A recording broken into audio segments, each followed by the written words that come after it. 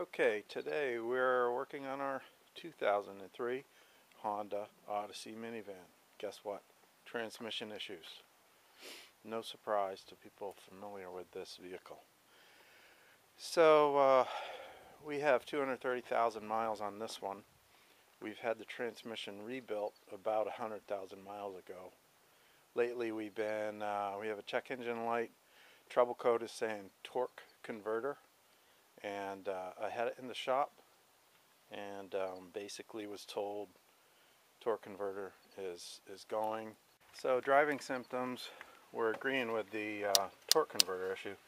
We have a high rev without power um, between second and third gear I think. We were getting a check engine light we were getting a um, traction control system light coming on. Um, one thing I did there's a solenoid down in there kind of behind the, uh, I'm shining the light on it. Hopefully can figure out where that is. If you look uh, below the battery, it's actually just, there's the um, transmission fluid dipstick. It's right underneath that. Um, that's one of the solenoids that I already looked at a couple weeks ago. The screens were fine on that one. There's also one up in there. I have not gotten at that one and I don't know if I will um, that was kind of a pain, but uh, anyway, there it is. Um, look down here underneath the vehicle.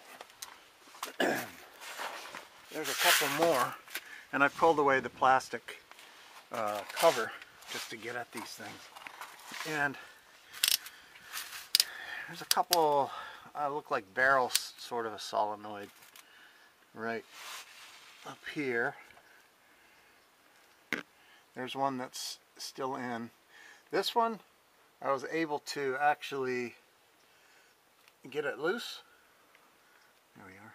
I was able to get, get it loose, but it's obstructed by the body of the transmission here. It's impossible, seems like, to get it out. So I left it. I put it back in.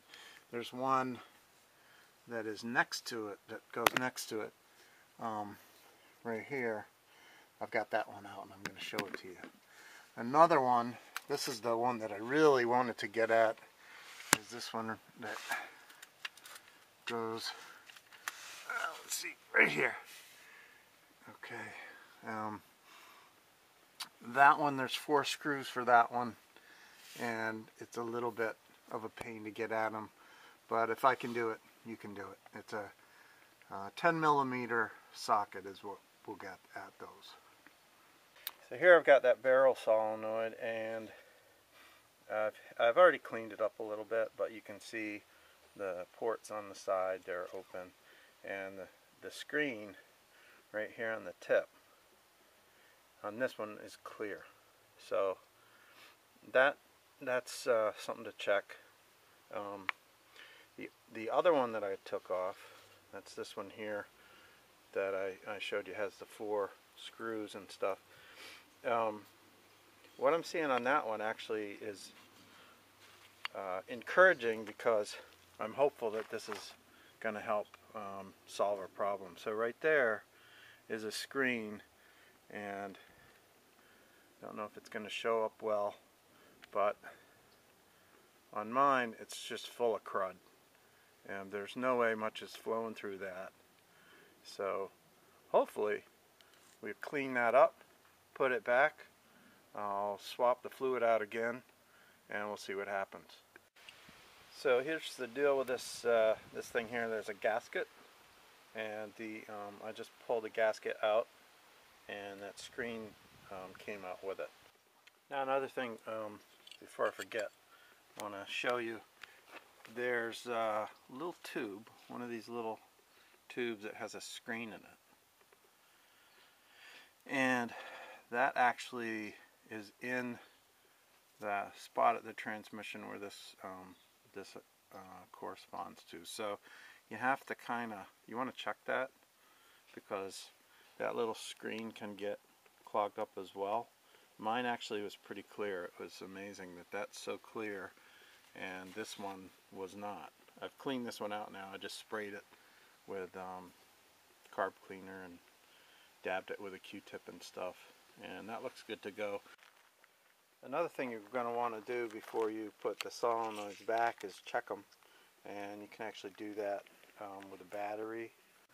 So I have this, um, this is an extension from my charger and it happens to just fit in those terminals. If you don't have something like that, you can just use any kind of wire, um, just something to be able to, to hook up and uh, touch onto the battery terminals. This is how you check the solenoid to make sure that it's working. And you can see it uh, clicking in there when I touch it to power it. So that solenoid is working, so that's a good sign. And also this little barrel solenoid can do the same thing.